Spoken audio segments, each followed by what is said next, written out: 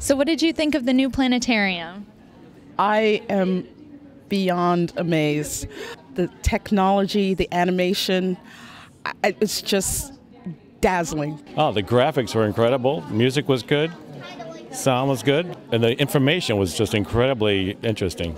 I thought it was fantastic. I thought the animations and all the narration was wonderful. I thought they did a fantastic job. It was really fun. I really liked. Um, as you're kind of sitting there, it's so large, you kind of feel like the whole thing is moving around and that the whole uh, room is moving, but it, you know, it's still just the uh, the uh, projection above you. Oh, the show was incredible. So it really made me think about the concept of other planets. And so I'm going to go home and read a lot of science fiction and think that it actually has maybe some base in truth somewhere. It was awesome. Yeah? In fact, I've been here for Cosmic Collisions. Oh, you have? Mm-hmm. What did you think of that? It was awesome. Yeah. Did you I feel like like everything in here.